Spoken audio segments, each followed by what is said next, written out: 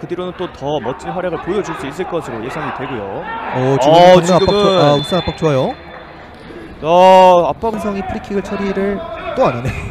그대로 감아 때립니다. 오! 들어갔습니다.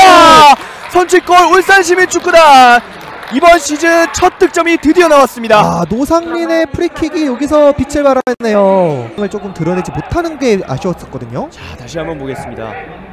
정말 약손된 플레이가 그대로 만들어졌어요. 그렇죠. 지금은 이게 또 경험이 무시를 할 수가 없는 게 조혜찬 선수에게 패스를 줌으로써 골키퍼가 박 박민수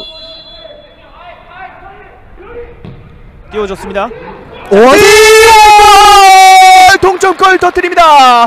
강릉시민 축구단 전반 30분에 바로 따라갑니다. 야 결국에는 역시나 경험이 있는 선수의 중요성 안세희가 중요한 타이밍에 강릉의 동점골을 기록을 해냅니다. 자 위원님께서 안국도 높이에 이점이 있다고 말씀을 드렸기 때문에 이번 기회가 무엇보다도 중요했는데 아 정말 깔끔하게 처리를 해줬습니다. 그렇죠. 강릉의 이 박민수의 날카로운 왼발 프리킥도 있었고 네. 안세희의 좋은 침투 또 헤더 마무리까지. 입니다. 크로스 붙여줬습니다. 뒤쪽. 어 아직 오 있는데요. 지금은 아 PK가 선언이 된 것 같아요. 자 이번 시즌 득점이 필요한 김양우 자신감을 한 차례 쌓을 수 있는 좋은 기회가 왔어요. 김양우 슛. 자 깔끔하게 들어갑니다.